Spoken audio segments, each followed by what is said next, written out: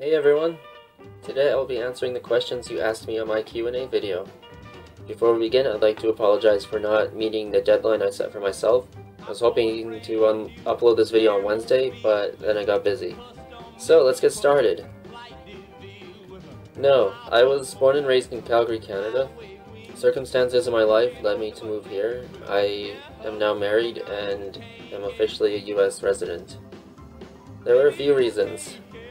Firstly, I was in an accident that really wasn't my fault, but I got blamed for it anyway. I'll explain this accident on a different question. Uh, secondly, my mom was involved in an accident uh, a couple years, no, just about a year ago.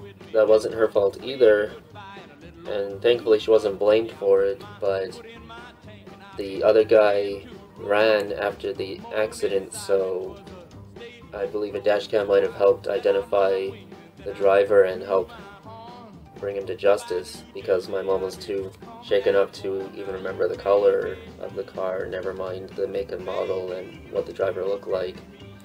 What happened was she was going straight through the intersection and the other guy was coming from the oncoming traffic and he was turning left he went when he shouldn't have, and my mom ended up hitting him. That was the last straw for me. I got a dash cam for myself, and then uh, a little while later I got one for my mom, and I helped her install it into her car. I don't laugh at me, but I use Windows Movie Maker. I know it's very basic, but I like it. It's easy to use, I like the interface, I don't have to pay for it, the only drawback I can think of is the lack of zoom. I can't zoom in on any clips, but I just have to live with that for now. Because unless my channel becomes really big and I make a lot of money off of it, I see no reason to spend any money on buying a, a program. I have tried a few other programs, but Windows Movie Maker has been my so favorite so far. I believe the first dashcam channel I started watching was New Jersey Dashcam.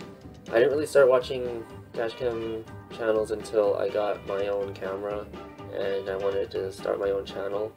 So I was looking to see if anyone else was doing videos in the New Jersey area. And I discovered that it was mostly in South Jersey, so I decided to call my videos Bad Drivers of North New Jersey. Yes, I have been in an accident. As I said earlier, this was the accident where I was blamed, but it really wasn't my fault. The other driver had witnesses who lied and I was alone, so I got the short end of the stick. So, here's the situation. I was driving down an icy road and I was approaching a parking lot. I wanted to turn into the parking lot, and the other vehicle was at the edge of the parking lot coming out of the parking lot. I hit the brakes, but it was to no avail as I was sliding on the ice. I probably could have swerved to the left to avoid hitting the other vehicle, but that was risky because there was a ditch. Uh, but they started pulling out even further, so I had to try swerving to the right towards the parking lot, and I really didn't have any room to swerve any further because there was a ditch also to my right, so I ended up T-boning them. I really don't know how that was my fault because they're the ones coming out of the intersection, but they had witnesses and I didn't, so this is why it's important to have dash cam. I was pulled over once. I turned right at a stop sign during the prohibited time. Uh, to be honest, I wasn't even really wanting to turn to the right. I I did miss the sign. I didn't I didn't see it, but I also wanted to just park in a parking spot that just happened to be to the right of the stop sign directly after it, but the cop didn't buy it. He was camped there pulling everyone over. So I know I technically turned right, even if in my mind all I wanted was that parking spot. That always changes because I'm actually in the construction industry, so my jobs are all over the place. I can be as close as 5 minutes away, or my furthest job so far has been 72 miles, uh, which took me just over an hour. Most jobs though are in the 30 to 40 minute and mile range. My first car was a 2003 Suzuki Aerio. It had a 2.0 liter four cylinder 145 horsepower engine which doesn't sound like much especially because it was it a little heavier because it had four-wheel drive as well. But it handled really well because of the four-wheel drive and after I drove it for a little while I learned the car's quirks and when to punch the gas and when to let up on the gas to be able to maneuver in traffic that's a tough one. For the US, I'd probably pick a place with lower taxes and more open space. New Jersey is really crowded and it bothers me sometimes because I'm from a place where the population is a lot more sparse. Maybe I'd pick like Texas or South Carolina, one of those states. As for the world, uh, I haven't really thought about where else in the world I'd like to live besides Canada and the US. So for now, I think I'll just pick Calgary, uh, my home city. But for now, I'm in New Jersey and I'm gonna make the most of it. I have not although I'm sure I'd like it if I ever got the chance. The make and model is easy, the year and color are a bit tougher to answer. My dream car is a Ford Mustang, and this is because when I was a kid, my dad had a beautiful 1989 baby blue Mustang GT. I love that thing. I was too young to drive, but I had a lot of fun as he drove it around, and it probably would be in my possession to this day if it hadn't been stolen by Maaco Paint Shop as it was getting a repair. I truly believe it was an inside job. I can provide more information on that if people are interested. I just don't have time on this video.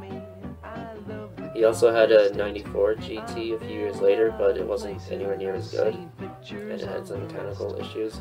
So anyway, the Mustang is my dream car, but I have trouble picking from the 1960s ponies, the 87 to 93, or the 2011. As for color, I'd pick either bullet gray, red, or baby blue, like my dad had. Red. Also a tough question because I haven't been in New Jersey very long and I'm still learning about this state. I've sort of become drawn towards Morris County though. It's a nice area with uh, a lot of green space and not as, it's not as crowded as Bergen County. There are a few things. One of the first things I noticed was the aggressive nature in the drivers around here. Of course, there are aggressive drivers in Calgary, but it's, it's nothing compared to the tri-state area. New York and New Jersey drivers more so than Connecticut in my experience. There's a lot more tailgating, getting cut off, being refused to be let in the lane, people forcing their way into my lane, cheating traffic by cutting in line at the last second, running red lights, speeding, and things like that. Everyone in everyone is in such a hurry and it's every driver for themselves. The next thing still relates to the aggressive nature of the drivers, and that is the flashing of the high beams to send various messages. It's something that I've had to get used to and I've actually started doing myself because I feel like that's just how uh, people communicate around here. Thirdly is the lack of hand waving when someone lets you in to their lane, which, as I said, is rare. Where I'm from, you wave at the person behind you as a thank you when you change lanes in close proximity and they didn't prevent you from coming over. That doesn't happen around here.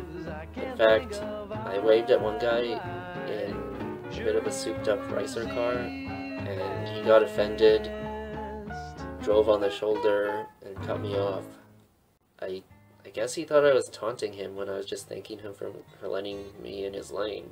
So, I don't do that anymore. Alright guys, thank you for your questions. Thank you for watching.